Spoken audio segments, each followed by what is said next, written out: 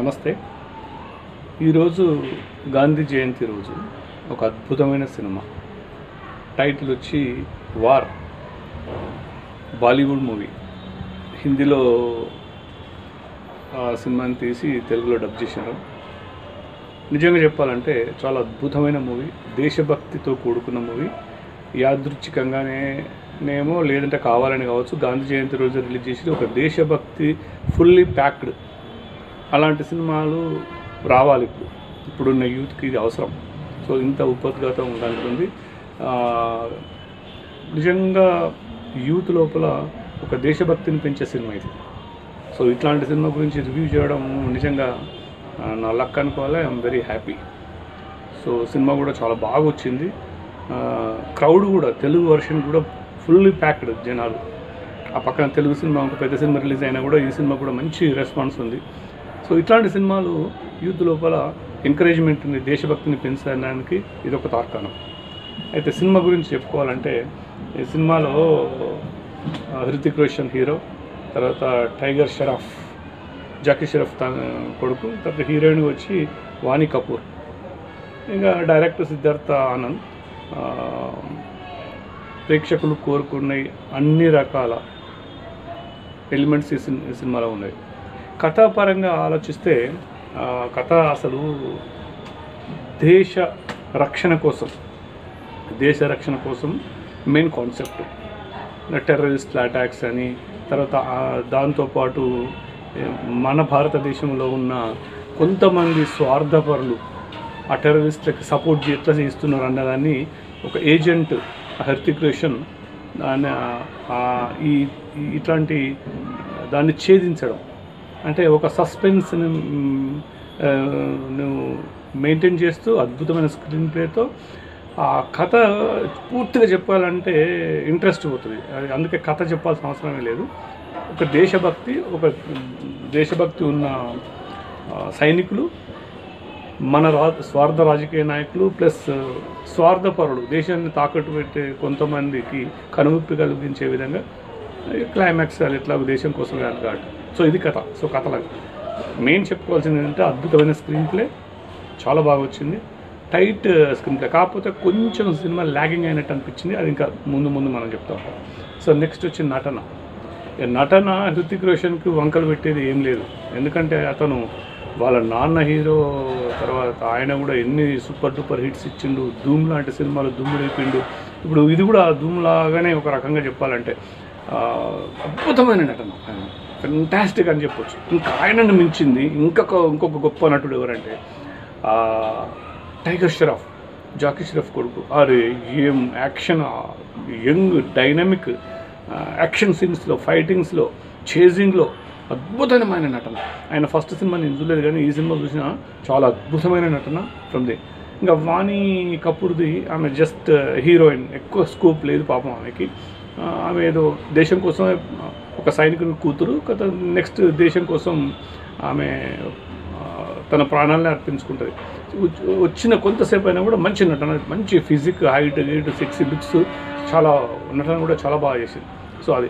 ఇంకా మిగతా నటులు అందరూ అశుతోష్ రానా అని ఇంకా మిగతా అంతా మామూలుగానే రొటీన్ ఇంకా వంకలు పెట్టేది ఎవరికి లేదు అందులో.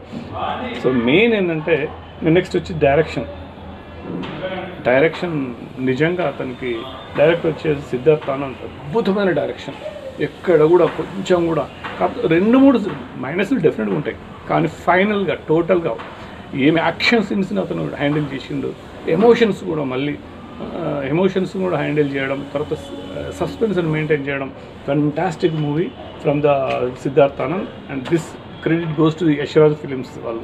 వాళ్ళ ప్రొడక్షన్ కాబట్టి చాలా అద్భుతమైన. నెక్స్ట్ మెచ్చుకోవాల్సింది లొకేషన్స్. ఫెంటాస్టిక్ అండ్ అద్భుతమైన లొకేషన్స్. సినిమాకి ఎక్కడ ప్రేక్షకుని కళ్ళని ఎక్కడ మెస్మరైజ్ చేయకుండా ఒక ఆనందాన్ని కలిగించేటట్టు ఒక అద్భుతమైన ఒక అనుభూతిని కలిగించేటట్టు కథకు తగ్గట్టుగా అద్భుతమైన లొకేషన్స్.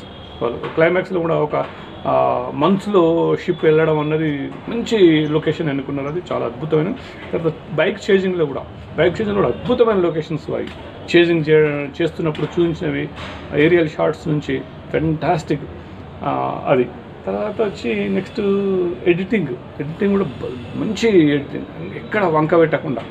దానికంటే ఇంకెక్కువ మెచ్చుకోవాల్సింది ఏంటంటే సాంగ్స్ డ్యాన్స్ ఒక పాట మీద ఇద్దరు హీరోలు ఏం ఫ్యాంటాస్టిక్ డ్యాన్స్ ఒకరిని మించిన ఒకరు. కన్నులు అసలు. ఇంకా కంపేర్ చేయదు ఈ సౌత్ ఇండియా నుంచి అట్లాంటి ఎస్పెషల్ తెలుగులో నుంచి ఎట్లాంటి వాళ్ళు ఉన్నారా అంటే ఇక అది కాని పని వీళ్ళ వీళ్ళతో కాని పని అది. అది అందుకు అంత తెలుగు వర్షన్ అయినా కూడా అద్భుతమైన మయూరి థియేటర్లో ఫుల్ ప్యాక్ ఇప్పుడు ఇప్పుడు కూడా ఫుల్ ప్యాక్ అయిపోయింది సినిమాకి. అది అది అయిపోయింది. తర్వాత లొకేషన్స్ అయిపోయినాయి. బ్యాక్ బ్యాక్గ్రౌండ్ మ్యూజిక్ గురించి చెప్పుకోవాల్సి వస్తుంది. ఎంత మంచి బ్యాక్గ్రౌండ్ మ్యూజిక్ అంటే నిజంగా ఆయన ఆ, కథకి ఆ సస్పెన్స్కి దానికి అద్భుతమైన పొంతన కుదిరింది. అంత చెవులకు ఇంపుగా సో బ్యాక్గ్రౌండ్ స్కోర్ కూడా ఫెంటాస్టిక్ వచ్చింది. దాని తర్వాత ఇక ఫైనల్ సినిమా ఏంటంటే జాతి సమగ్రతను పెంచే సినిమా ఇది. ఒక జాతీయ భావాన్ని పెంచే సినిమా ఇది టోటల్గా చెప్పాలంటే. ఒక యూత్ లోపల ఎంకరేజ్మెంట్ చేసేది ఒక సైనికుడు దేశం కోసం అర్పించే తన తన ఆవేదనని తన కమిట్మెంట్ని యూత్లో మైండ్లోకి ఎక్కుతుంది అది అయితే ఈ ఫైనల్గా ఈ సినిమా సమాజానికి ఎంతవరకు పనికొస్తుంది? ఫెంటాస్టిక్ డెఫినెట్గా పనికొస్తుంది. ఎందుకంటే ఇట్లాంటి సినిమాలే కదా.